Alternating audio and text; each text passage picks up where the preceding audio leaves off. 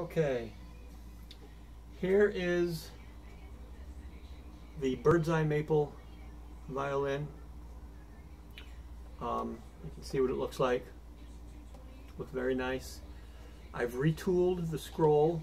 Um, I buy unfinished instruments from Asia and Europe and I finish them.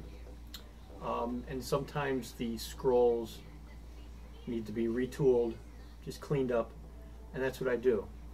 Um, I've got all the, the, chisels and everything. I fit the pegs, um, fit the fingerboard, the nut, the bridge, saddle, sometimes end pins. I fit everything. I use Evah Pirazzi strings. Um, and this violin sounds very nice. Um, but this will give you an idea of what it sounds like. I am no professional. I do this on the side. Um, I do nursing, hence I'm always in white. Um, do in-home nursing by profession, for profession. Um, so that's what that is. Um, but I've been working on violins for going on 20 years, not quite 20 years. So, but this will give you an idea what this violin sounds like. Thank you.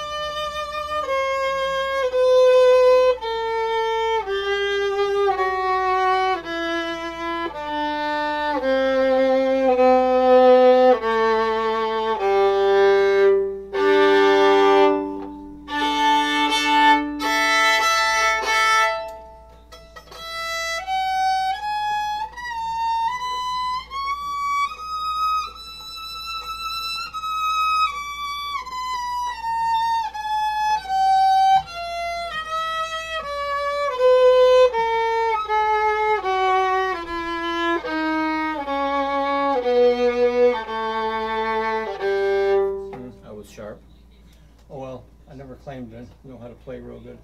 Pretty much taught myself. I took lessons for about a year or so, many years ago. Um, but that's that. Very nice looking violin and a decent sounding violin. And this violin's asleep, if you could call it that.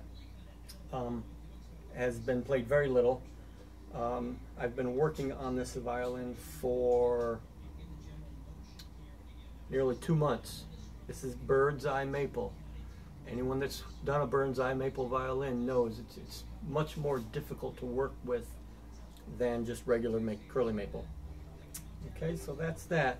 Give you an idea what it sounds like.